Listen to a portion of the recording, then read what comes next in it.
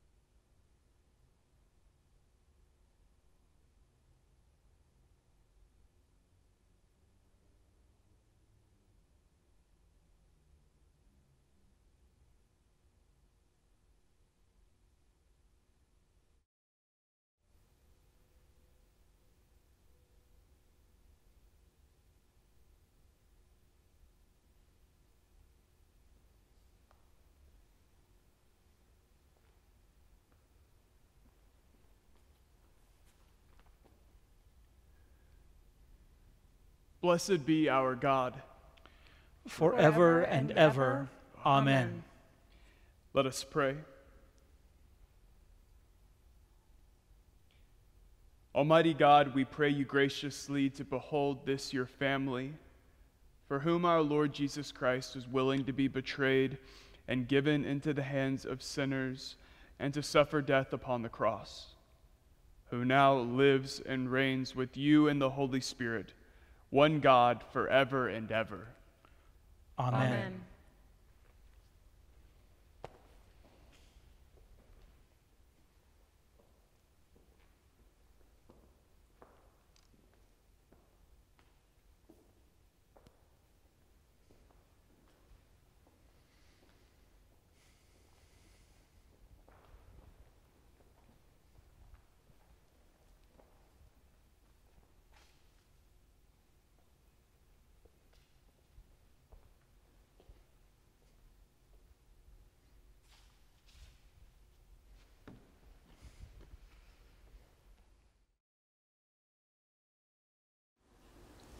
A reading from the book of Isaiah. See, my servant shall prosper. He shall be exalted and lifted up, and shall be very high. Just as there were many who were astonished at him, so marred was his appearance, beyond human semblance, and his form beyond that of mortals. So he shall startle many nations. Kings shall shut their mouths because of him. For that which had not been told them, they shall see. And that which they had not heard, they shall contemplate. Who has believed what we have heard? And to whom has the arm of the Lord been revealed? For he grew up before him like a young plant, and like a root out of dry ground. He had no form or majesty that we should look at him, nothing in his appearance that we should desire him. He was despised and rejected by others, a man of suffering and acquainted with infirmity. And as one from whom others hide their faces, he was despised, and we held him of no account. Surely he has borne our infirmities and carried our diseases. Yet we accounted him stricken, struck down by God, and afflicted. But he was wounded for our transgressions crushed for our iniquities. Upon him was the punishment that made us whole, and by his bruises we are healed. All we like sheep have gone astray. We have all turned to our own way, and the Lord has laid on him the iniquity of us all. He was oppressed and he was afflicted, yet he did not open his mouth like a lamb that is led to the slaughter, and like a sheep that before its shears is silent. So he did not open his mouth. By a perversion of justice, he was taken away. Who could have imagined his future? For he was cut off from the land of the living, stricken for the transgression of my people. They made his grave with the wicked and his tomb with the rich, although he had done no violence, and there was no deceit in his mouth. Yet it was the will of the Lord to crush him with pain. When you make his life an offering for sin, he shall see his offspring and shall prolong his days. Through him the will of the Lord shall prosper. Out of his anguish he shall see light. He shall find satisfaction through his knowledge. The righteous one, my servant, shall make many righteous, and he shall bear their iniquities. Therefore I will allot him a portion with the great, and he shall divide the spoil with the strong, because he poured out himself to death, and he was numbered with the transgressors. Yet he bore the sin of many and made intercession for the transgressors. The word of the Lord.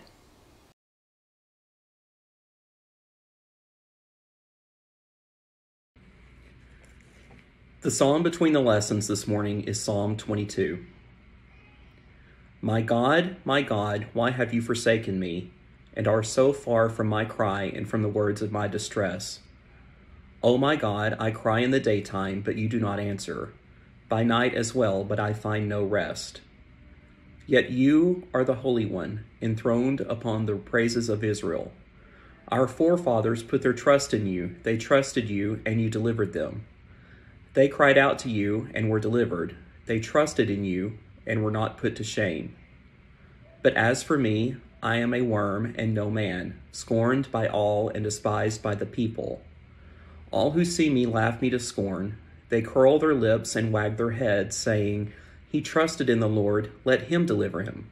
Let him rescue him, if he delights in him. Yet you are he who took me out of the womb and kept me safe upon my brother's mother's breast. I have been entrusted to you ever since I was born. You were my God when I was still in my mother's womb. But not far from me, for trouble is near, and there is none to help. Many young bulls encircle me, strong bulls of Bashan surround me. They open wide their jaws at me like a ravening and roaring lion. I am poured out like water, all my bo- bones are out of joint. My heart within my breast is melting wax. My mouth is dried out like a pod potsherd. My tongue sticks to the roof of my mouth, and you have laid me out in the dust of the grave. Packs of dogs close me in, and gangs of evildoers circle around me. They pierce my hands and my feet. I can count all my bones. They stare and gloat over me. They divide my garments among them. They cast lots for my clothing. Be not far away, O Lord. You are my strength. Hasten to help me. Save me from the sword, my life from the power of the dog. Save me from the lion's mouth, my wretched body from the horns of wild bulls. I will declare your name to my brethren. In the midst of the congregation, I will praise you. Praise the Lord, you that fear him. Stand in awe of him, O offspring of Israel. All you of Jacob's line give glory. For he does not despise nor abhor the poor in their poverty, neither does he hide his face from them, but when they cry to him, he hears them. My praise is of him in the great assembly. I will perform my vows in the presence of those who worship him. The poor shall eat and be satisfied, and those who seek the Lord shall praise him. May your heart live forever. All the ends of the earth shall remember and turn to the Lord, and all the families of the nations shall bow before him. For kingship belongs to the Lord, he rules over the nations. To him alone all who sleep in the earth bow down and worship. All who go down to the dust fall before him. My soul shall live for him, my descendants shall serve him. They shall be known as the Lord's forever. They shall come and make known to a people yet unborn the saving deeds that he has done.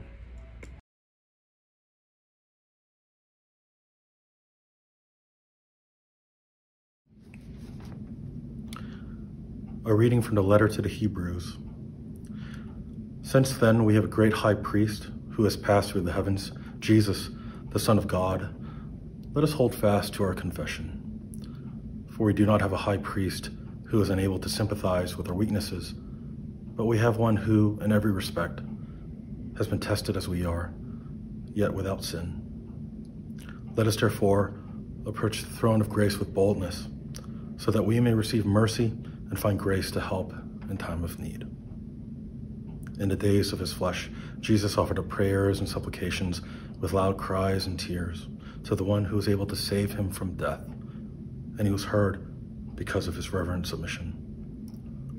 Although he was a son, he learned obedience through what he suffered, and having been made perfect, he became the source of eternal salvation for all who obey him. The word of the Lord.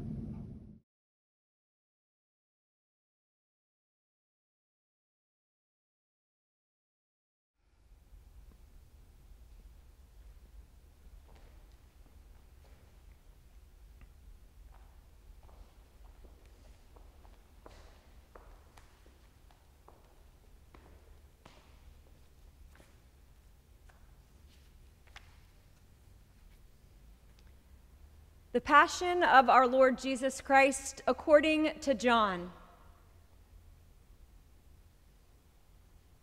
Jesus went out with his disciples across the Kidron Valley to a place where there was a garden, which he and his disciples entered.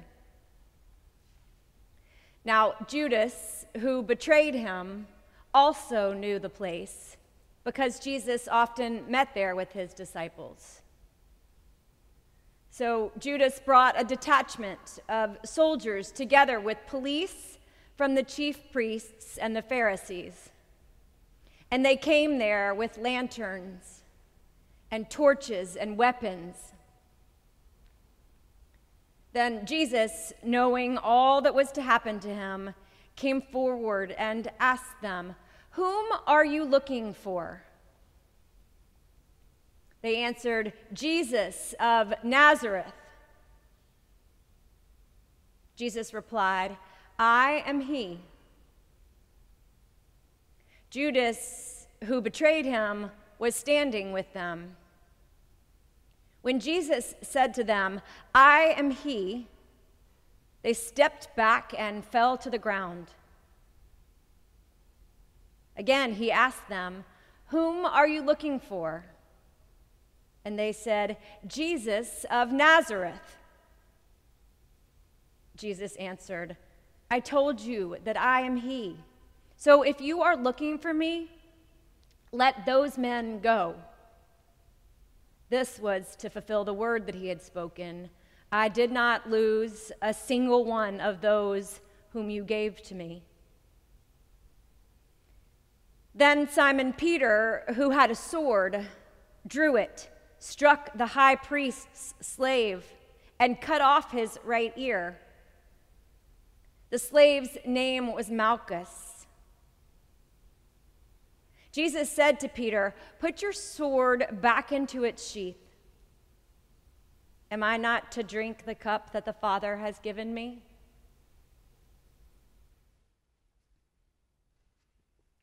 So the soldiers, their officer, and the Jewish police arrested Jesus and bound him. First, they took him to Annas, who was the father in law of Caiaphas, the high priest that year. Caiaphas was also the one who had advised the Jews that it was better to have one person die for the people. Simon Peter and another disciple followed Jesus. Since that disciple was known to the high priest, he went out with Jesus into the courtyard of the high priest but Peter was standing outside at the gate. So the other disciple, who was known to the high priest, went out, spoke to the woman who guarded the gate, and brought Peter in. The woman said to Peter, You are not also one of this man's disciples, are you? He said, I am not. Now the slaves and the police had made a charcoal fire because it was cold, and they were standing around it, warming themselves. Peter also was standing with them and warming himself. Then the high priest questioned Jesus about his disciples and about his teaching. Jesus answered, I have spoken openly to the world. I have always taught in synagogues and in the temple where all the Jews come together. I have said nothing in secret. Why do you ask me? Ask those who heard what I said to them. They know what I said. When he had said this, one of the police standing nearby struck Jesus on the face, saying, Is that how you answer the high priest? Jesus answered, If I've spoken wrongly, testify to the wrong. But if I've spoken rightly, why do you strike me? Then Annas sent him bound to Caiaphas, the high priest. Now, Simon Peter was standing and warming himself. They asked him, You are not also one of his disciples, are you?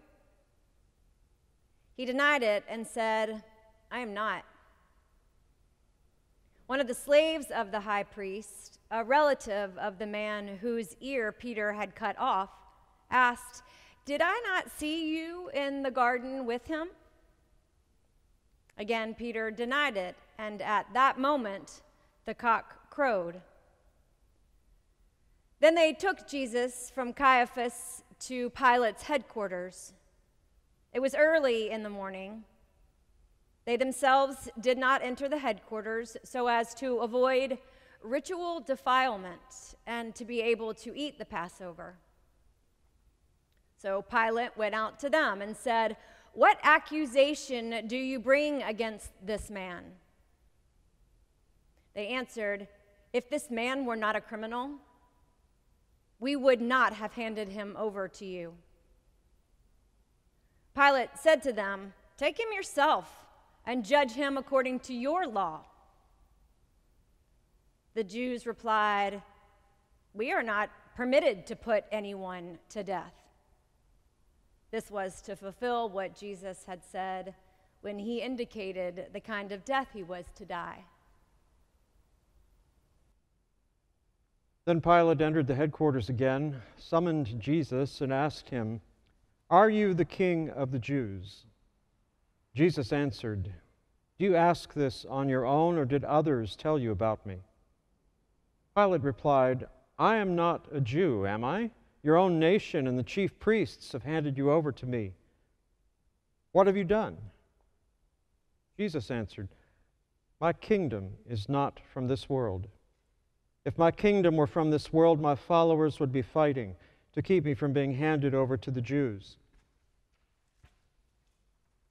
But as it is, my kingdom is not from here. Pilate asked him, So you are a king? Jesus answered, You say that I am a king. For this I was born, and for this I came into the world, to testify to the truth. Everyone who belongs to the truth listens to my voice. Pilate asked him, What is truth?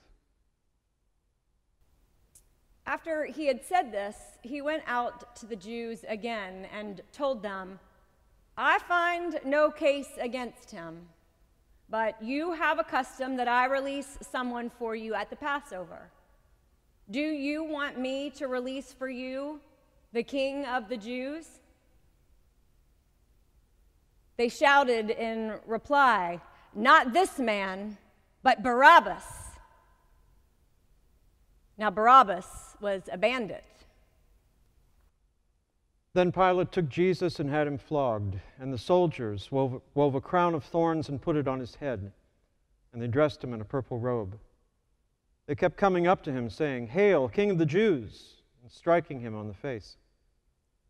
Pilate went out again and said to them, Look, I'm bringing him out to you to let you know that I find no case against him. So Jesus came out, wearing the crown of thorns and the purple robe. Pilate said to them, here is the man. When the chief priests and the police saw him, they shouted, Crucify him! Crucify him! Pilate said to them, Take him yourselves and crucify him. I find no case against him. The Jews answered him, We have a law, and according to that law, he ought to die because he has claimed to be the Son of God. Now, when Pilate heard this, he was more afraid than ever. He entered his headquarters again and asked Jesus, Where are you from? But Jesus gave him no answer. Pilate therefore said to him, Do you refuse to speak to me? Do you not know that I have power to release you and power to crucify you? Jesus answered him, You would have no power over me unless it had been given you from above. Therefore, the one who handed me over to you is guilty of a greater sin. From then on, Pilate tried to release him, but the Jews cried out, If you release this man, you are no friend of the emperor. Everyone who claims to be a king sets himself against the emperor. When Pilate heard these words, he brought Jesus outside and sat on the judge's bench at a place called the stone pavement, or in Hebrew, Gabbatha. Now, it was the day of preparation for the Passover, and it was about noon. He said to the Jews, Here is your king. They cried out, Away with him! Away with him! Crucify him! Pilate asked them, Shall I crucify your king? The chief priests answered, We have no king but the emperor. Then he handed him over to them to be crucified. So they took Jesus, and carrying the cross by himself, he went out to what is called the place of the skull, which in Hebrew is called Golgotha.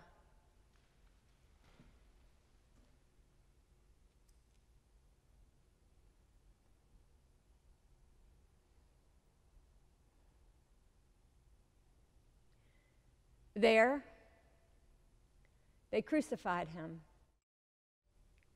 And with two others, one on either side, with Jesus between them. Pilate also had an inscription written and put on the cross. It read, Jesus of Nazareth, King of the Jews. Many of the Jews read this inscription because the place where Jesus was crucified was near the city.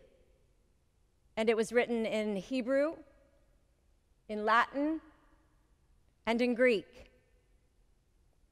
Then the chief priests of the Jews said to Pilate, Do not write the king of the Jews, but this man said, I am king of the Jews. Pilate answered, What I have written, I have written. When the soldiers had crucified Jesus, they took his clothes and divided them into four parts, one for each soldier. They also took his tunic. Now, the tunic was seamless, woven in one piece from the top.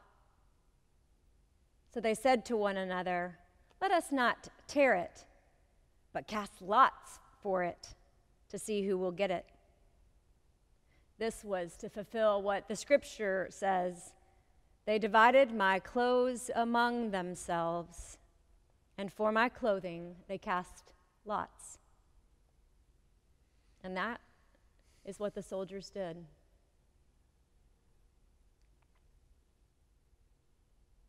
Meanwhile, standing near the cross of Jesus were his mother and his mother's sister, Mary, the wife of Clopas, and Mary Magdalene.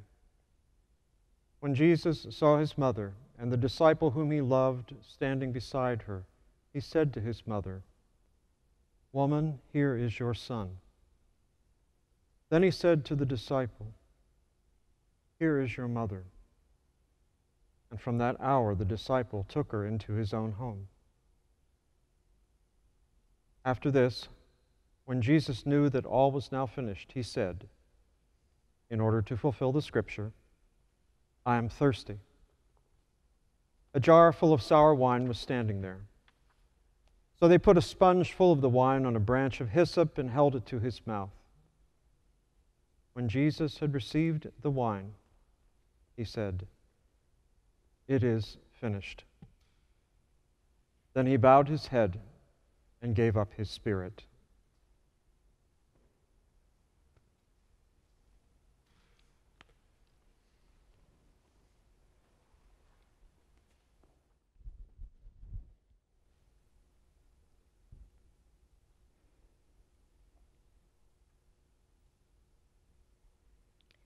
Since it was the day of preparation, the Jews did not want the bodies left on the cross during the Sabbath, especially because that Sabbath was a day of great solemnity. So they asked Pilate to have the legs of the crucified men broken and the bodies removed. Then the soldiers came and broke the legs of the first and of the other who had been crucified with him. But when they came to Jesus and saw that he was already dead, they did not break his legs. Instead, one of the soldiers pierced his side with a spear, and at once blood and water came out.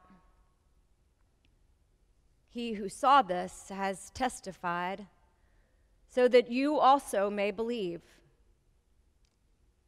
His testimony is true, and he knows that he tells the truth.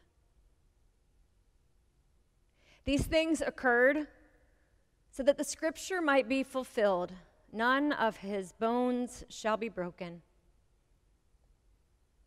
And again, another passage of scripture says, They will look on the one whom they have pierced. After these things, Joseph of Arimathea, who was a disciple of Jesus, though a secret one, because of his fear of the Jews, asked Pilate to let him take away the body of Jesus. Pilate gave him permission, so he came and removed his body. Nicodemus, who had at first come to Jesus by night, also came, bringing a mixture of myrrh and aloes, weighing about a hundred pounds. They took the body of Jesus and wrapped it with the spices and linen cloths, according to the burial custom of the Jews. Now there was a garden in the place where he was crucified, and in the garden there was a new tomb in which no one had ever been laid. And so, because it was the Jewish day of preparation and the tomb was nearby, they laid Jesus there.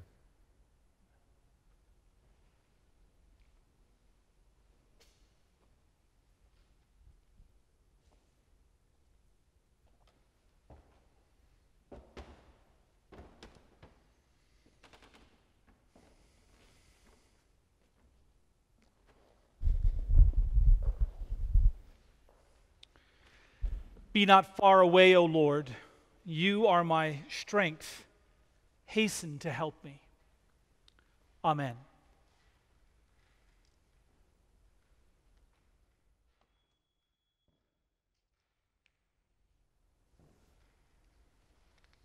Well, we've made it back.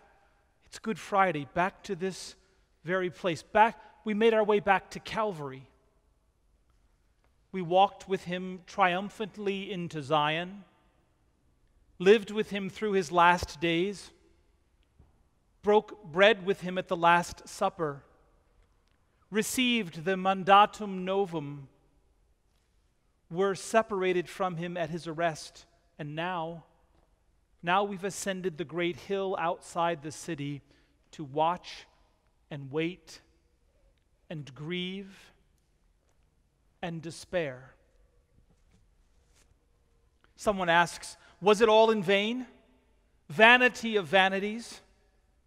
An empty plot without direction that ends with the ambivalent vassal Pilate as a reluctant victor? Making sense of it all has required those inside and outside the tradition to theorize. Perhaps you conclude this day was occasioned by the misguided steps of an innocent, too naive to negotiate the halls of power.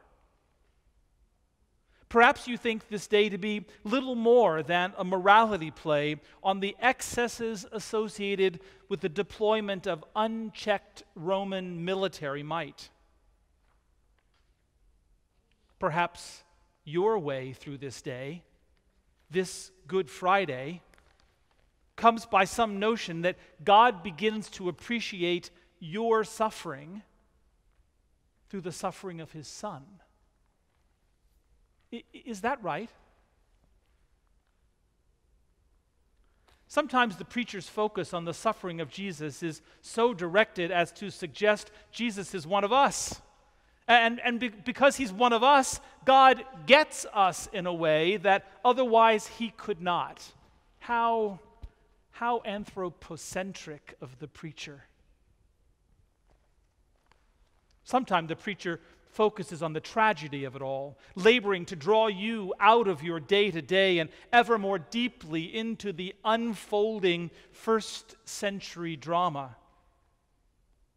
In this way, you could feature the preacher as, as narrator for the musical Jesus Christ Superstar. It, do you see it? It's speculation like this that, that tempts the latter day Christian skeptic and preacher all to negotiate away the scandal otherwise insisted on by the cross and passion of our Lord. Our God dies the most humiliating of deaths an identity eradicating death in the effort to save you and me from the path of self destruction set out by our first parents. It may be especially tempting under the current circumstances to identify with the suffering of Christ on the cross stopping just short of the voyeurism encouraged by Mel Gibson's The Passion of the Christ, you might place the current crisis and struggle of your life, the struggle of your family, the, the crisis of the nation, of the world, this plague and its path of destruction, we might place it on the shoulders of Christ and watch him respond as an empath the dying God begins to feel what you feel, though seemingly without an inclination to act. His agony and bloody sweat, as the great litany refers to it, mustn't be forgotten. But, but Christ did not go to the cross to suffer on our behalf, He dies for us. See how God shows his love for us, writes Paul in the fifth chapter of the book of Romans. See how God shows his love for us in that while we were yet sinners, while we were still in rebellion, Christ died for us. So please don't characterize his death as an accident or a freak moment in history, an unintentional blunder by disciples and prophet alike, or as an incident to teach God something he didn't know already. Either our God in Christ dies to save, or he died in vain. And I refuse to toss the passion narrative on the scrap heap of history otherwise littered with the myths of God humans who die and rise to attain the status of talisman or manipulators of fate.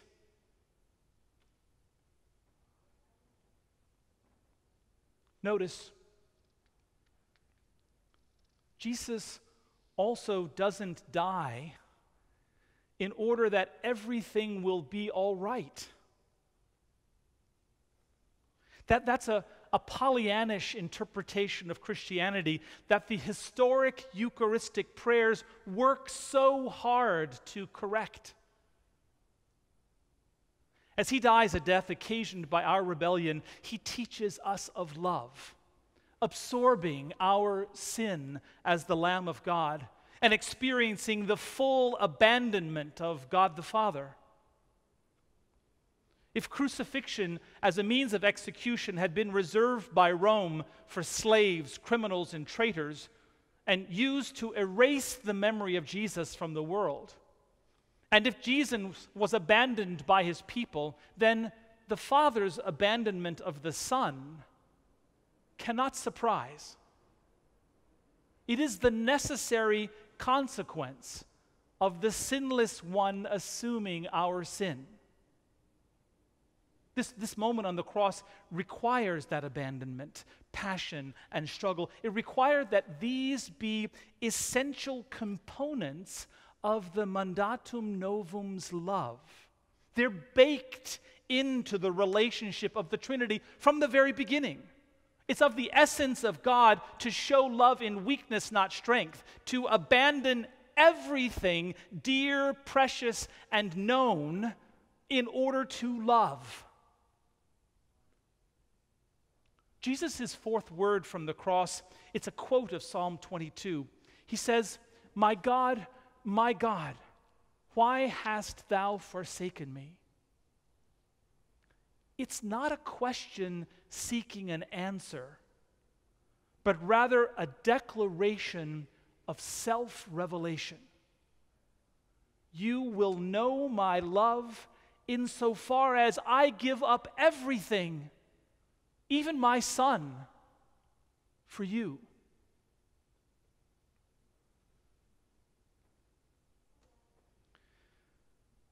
The governor of New York has been in the unenviable position presiding over ground zero for the COVID suffering and crisis in the United States. He has alternately encouraged, chided, pleaded, and bargained, but always worked to pull his state through this crisis. Last week, however, he realized the cost of cheap encouragement.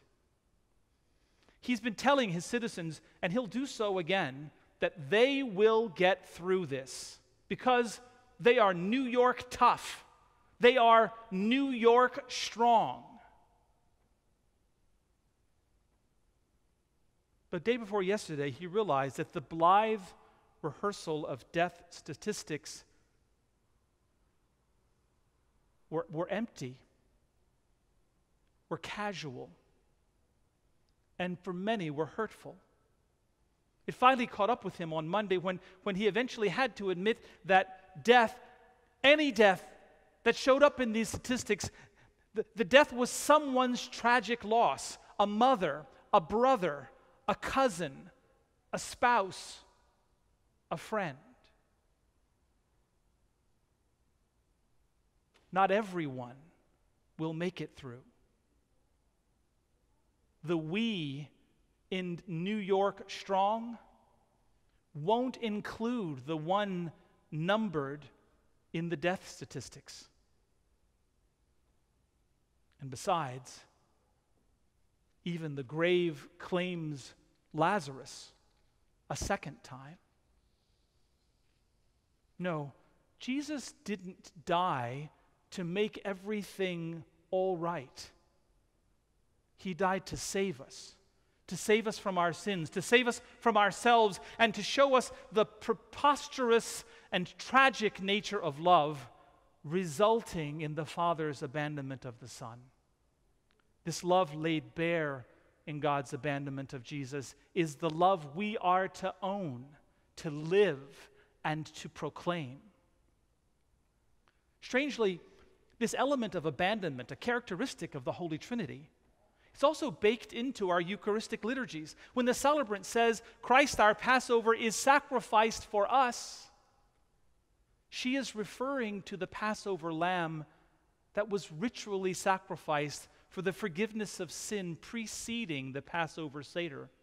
Jesus' death forgives our sins, saves us, and puts an end to ritual sacrifice. It also plainly displays abandonment of the dear, the familiar, and the cherished as essential components of love.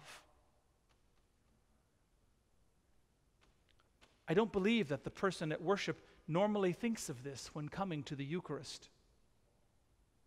But in these times when we are deprived of Christ's Eucharistic presence, the experience of abandonment is front and center. This forced Eucharistic fast puts you and me in closer proximity with Christ's cry of dereliction. If these last four weeks have not gotten your attention spiritually, this apocalyptic experience of plague, then it, it's hard to know what will. Dame Julian, Julian of Norwich's All Will Be Well, or Paul's All Things Work Together for Good for those who love the Lord. These are uttered from, from deep prayer lives that know the abandonment Christ experiences on the cross. If there's no way to the empty tomb except through Calvary, then there is no embrace of love as a defining ethic without experiencing the abandonment of God in Christ. We've been learning about this, you and I. We've been learning about this abandonment in this season of plague. Now, the grandfather doesn't get to hold his newborn granddaughter. Now, the expectant mother may not have her husband in the delivery room. Now, sons are not allowed to the bedsides of ailing fathers. Priests are discouraged and, in some places, refused access to the dying. Please don't tell me it doesn't make sense that God would abandon Jesus. I know this abandonment with full awareness. This Jesus will not be Messiah strong. He will die. He will experience the abandonment of God.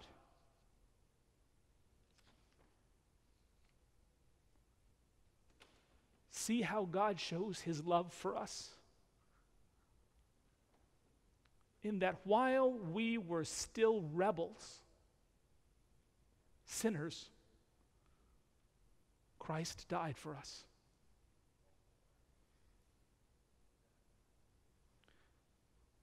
Show me, Lord, show me Christ's cry as no question, but a declaration of self revelation. Show me his cry as love. My God, my God, why hast thou forsaken me?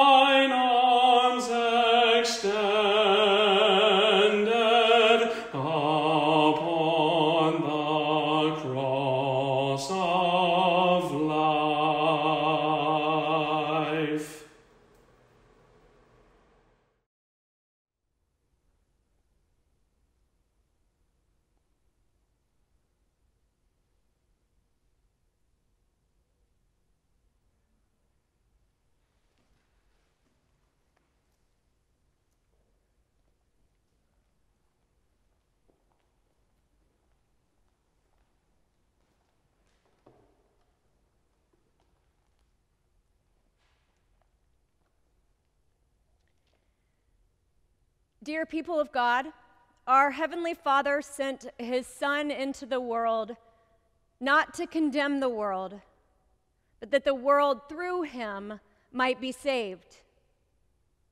That all who believe in Him might be delivered from the power of sin and death and become heirs with Him of everlasting life. We pray, therefore, for people everywhere according to their needs.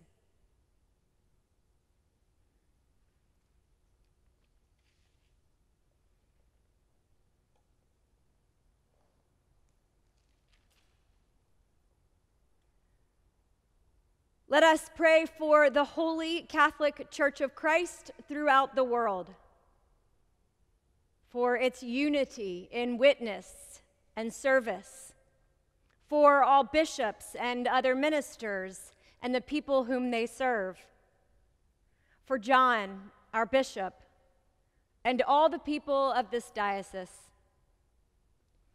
for all Christians in this community, for those about to be baptized, that God will confirm his church in faith, increase it in love, and preserve it in peace.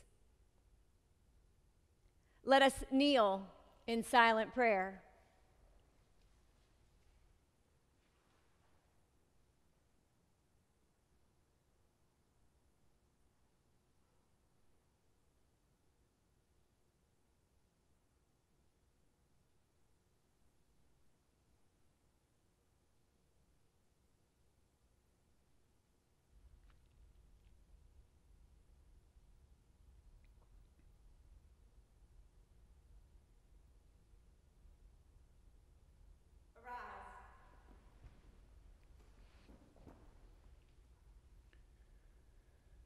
Almighty and everlasting God, by whose Spirit the whole body of your faithful people is governed and sanctified, receive our supplications and prayers which we offer before you for all members of your holy church, that in their vocation and ministry they may truly and devoutly serve you through our Lord and Savior Jesus Christ. Amen. Let us pray for all nations and peoples of the earth, and for those in authority among them. For Donald, the President of the United States. For Bill, the Governor of Tennessee. For John, the Mayor of Nashville. For the Congress and the Supreme Court. For the members and representatives of the United Nations for all who serve the common good, for first responders, doctors, nurses, hospital workers, lab technicians, and all those who are working for vaccines and cures for the coronavirus. That by God's help, they may lead us into that place characterized by healing reconciliation, safety, and equity. Let us kneel in silent prayer.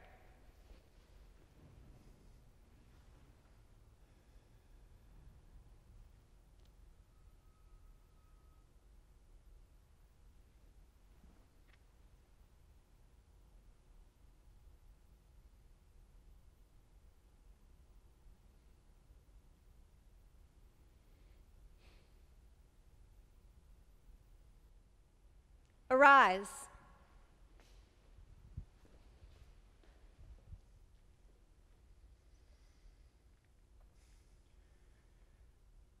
Almighty God, kindle, we pray, in every heart the true love of peace, and guide with your wisdom those who take counsel for the nations of the earth, that in tranquility your dominion may increase until the earth is filled with the knowledge of your love.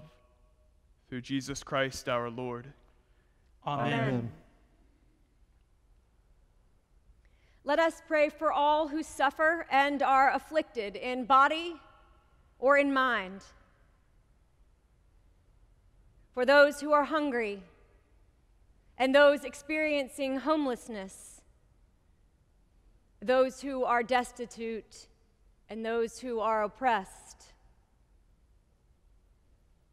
for the sick, the wounded, and the crippled.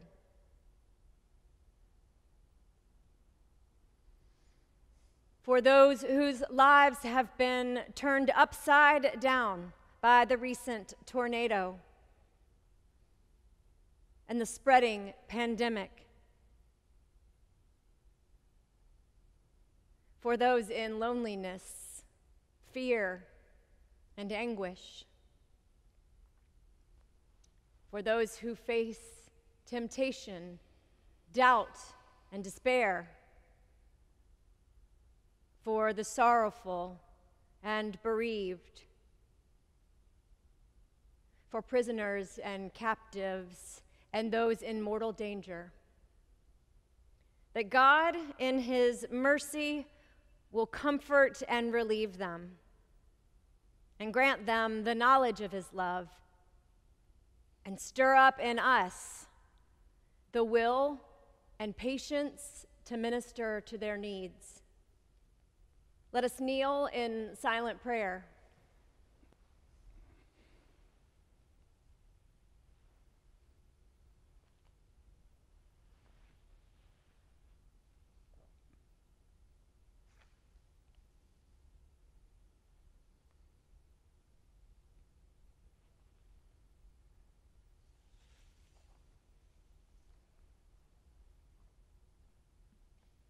Arise.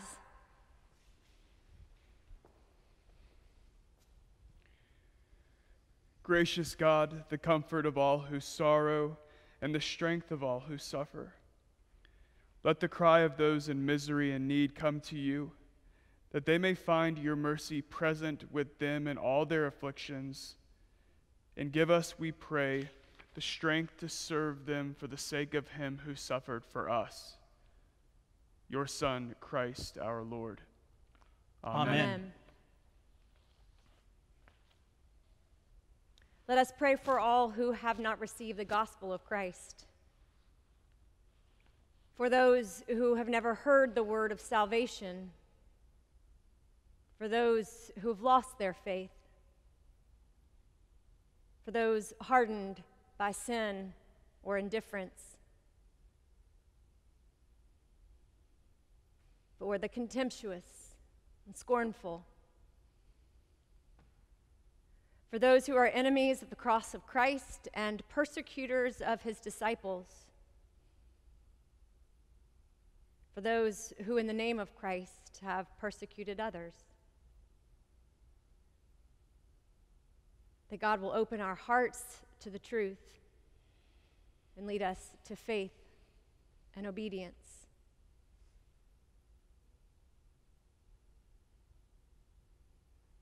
Let us kneel in silent prayer.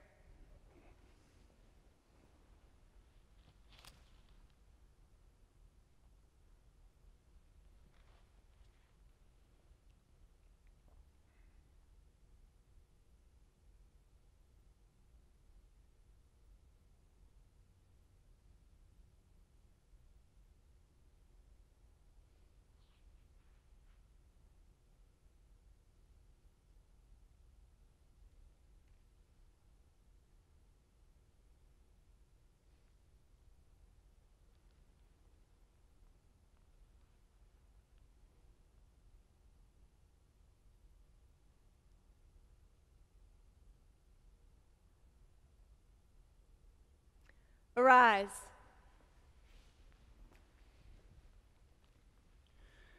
Merciful God, creator of all the peoples of the earth and lover of souls, have compassion on all who do not know you as you are revealed in your Son, Jesus Christ. Let your gospel be preached with grace and power to those who have not heard it. Turn the hearts of those who resist it, and bring home to your fold those who have gone astray, that there may be one flock under one shepherd, Jesus Christ our Lord. Amen. Let us commit ourselves to our God and pray for the grace of a holy life, that with all who have departed this world and have died in the peace of Christ, and those whose faith is known to God alone, we may be accounted worthy to enter into the fullness of the joy of our Lord and receive the crown of life in the day of resurrection. Let us kneel in silent prayer.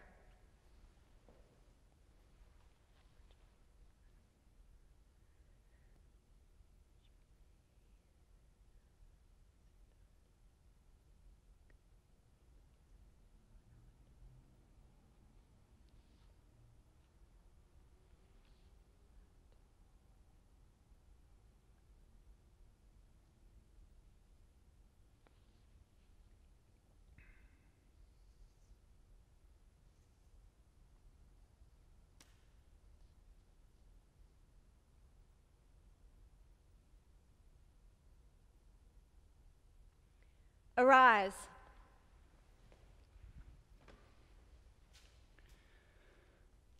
O God of unchangeable power and light, look favorably on your whole church, that wonderful and sacred mystery. By the effectual working of your providence, carry out in tranquility the plan of salvation.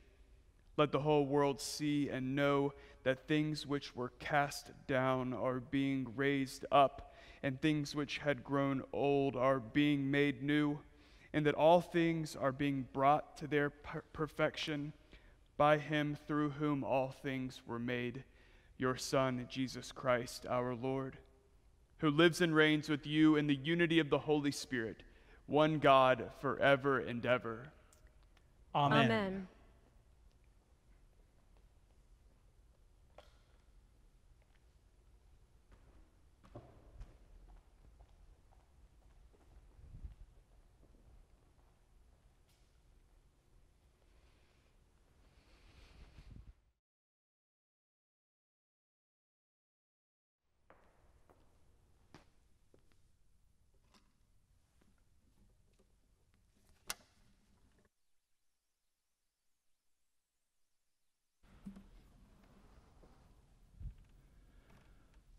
Were you there when they crucified my Lord? Were you there when they crucified my Lord? Oh, sometimes it causes me to tremble, tremble, tremble. You there when they crucified my Lord?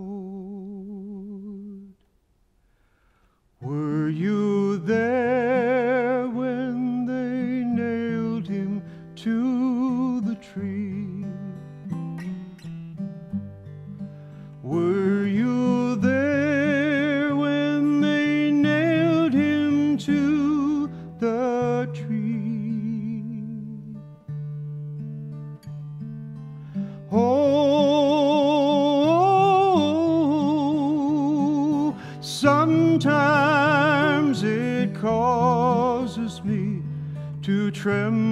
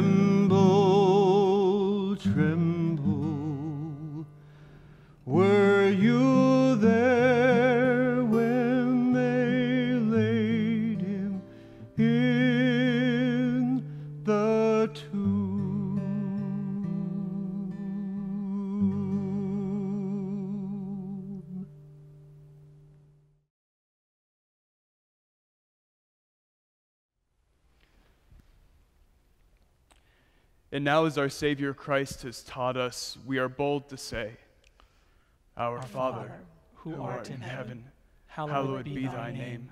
Thy, Thy kingdom come, thy will be done, on earth as it is in heaven.